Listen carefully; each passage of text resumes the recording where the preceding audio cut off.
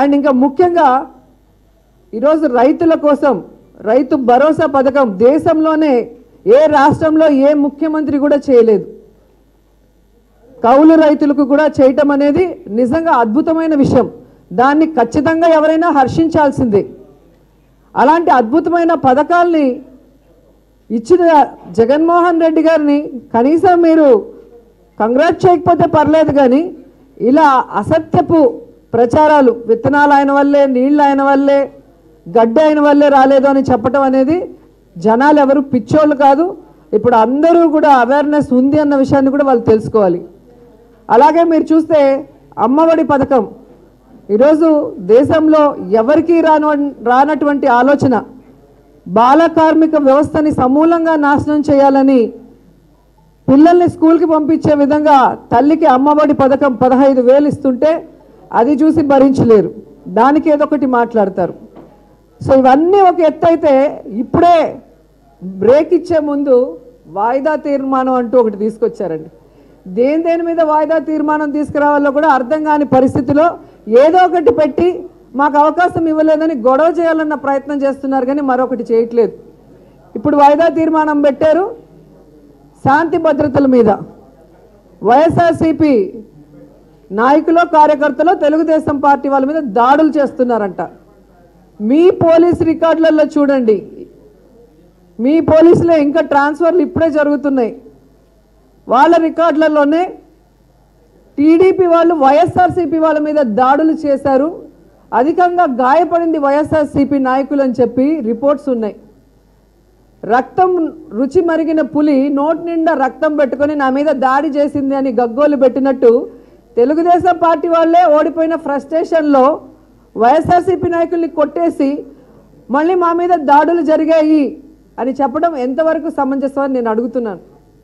వ్యక్తిగత కారణాల వల్ల వాళ్ళు వాళ్ళు ఎవరో కొట్టుకుంటే వాటికి పార్టీల్ని పులిమి వాటిని మానెత్తిన పులవటం ఎంతవరకు సమంజసం అని నేను అడుగుతున్నాను. నేను సూటిగా చంద్రబాబు నాయుడు గారిని ప్రశ్నిస్తున్నాను. మీకు శాంతి భద్రతల విషయం ఇప్పుడే గుర్తొచ్చిందా? మీ రౌడీ ఎమ్మెల్యే చింతమనేని గారు వనజాక్షిని ఇసుకలో వేసి కొట్టినప్పుడు ఎందుకు వాయిదా తీర్మానం మేము ఇస్తే తీసుకోలేదు? ఎందుకు దాని మీద డిస్కషన్ చేయలేదు? శిక్షించాల్సిన మీ ఎమ్మెల్యేని శిక్షించకుండా వనజాక్షి గారిని పిలిపించి బెదిరించి సెటిల్మెంట్ చేసిన మీరా శాంతి భద్రతల గురించి మాట్లాడేది? కాల్ మార్కెట్లో మీ ఎమ్మెల్యే మీ ఎమ్మెల్సీలు ఉన్నారన్న కారణంతో ఆడవాళ్ళ జీవితాలు వ్యభిచార కూపంలో పోతున్నాయని కంటిన్యూస్గా రెండు రోజులు వాయిదా తీర్మానం ఇస్తే ఈ విషయం గురించి డిస్కస్ చేయనీయకుండా నా మీద నిందలు వేసి నన్ను వన్ ఇయర్ సస్పెండ్ చేసిన మీరా శాంతి భద్రతల గురించి మాట్లాడుతున్నది.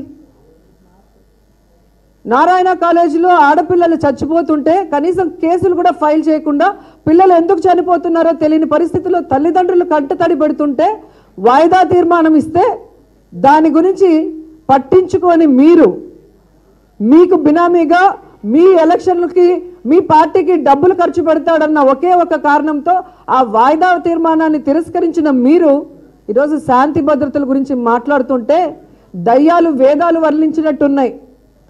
సో దయచేసి చేసిన తప్పులకి ప్రజలు మీకు బుద్ధి చెప్పి నూట ఇరవై మూడు సీట్ల నుంచి ఇరవై మూడుకి తీసుకొచ్చారు. మూడు సీట్లకు వెళ్ళొద్దండి. గౌరవంగా ఉంటూ ప్రజా సమస్యల మీద ఎంత దూరమైనా డిస్కస్ చేద్దామని మా జగన్మోహన్ రెడ్డి గారు చెప్తున్నారు. ముందు రోజు అయిపోయిన సబ్జెక్ట్ కూడా మరుసటి రోజు మీరు కోరితే ఎక్కడా కూడా జరగనటువంటి విధంగా మళ్ళీ మీకు అవకాశం ఇస్తున్నారు. ఇలా అవకాశం గత ఐదేళ్ళలో ఎప్పుడైనా మీరు ఇచ్చారా? కనీసం ప్రతిపక్ష నాయకుడికి కూడా మా మైక్ సరిగ్గా ఇవ్వని మీకు ప్రతి ఇష్యూ మీద డిస్కస్ చేసే అవకాశం ఇస్తుంటే కూడా ఇప్పటికీ కూడా అదే విధంగా మీరు సభను డైవర్ట్ చేసే విధంగా రౌడీజం చేస్తూనో లేకపోతే అసత్యపు ప్రచారాలు చేస్తూనో ముందుకు వెళ్ళాలనుకుంటే మాత్రం ప్రజలు హర్షించరు.